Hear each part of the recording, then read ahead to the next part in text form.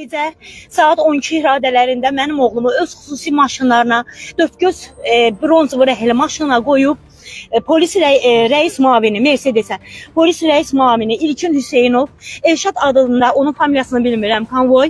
Yəni o bir də ki o maşını sürən adam. Bir müddət əvvəl kanalımıza açıqlama verən Ağdaş rayon sakini Yeganə Dadaşzadə oğlunun baş mütəşəkkil cinayətkarlıqla mübarizə idarəsində işgəncələrə məruz qalması haqqında iddialar səsləndirmişdi. Səslənən fikirlərlə bağlı Daxili İşlər Nazirliyinin Şəki regional qrupunun baş inspektoru, polis baş leytenantı Mahir Mənsimov kanalımızla əlaqə saxlayaraq Yeganə Dadaşzadənin iddialarının əsassız olduğunu bildirib.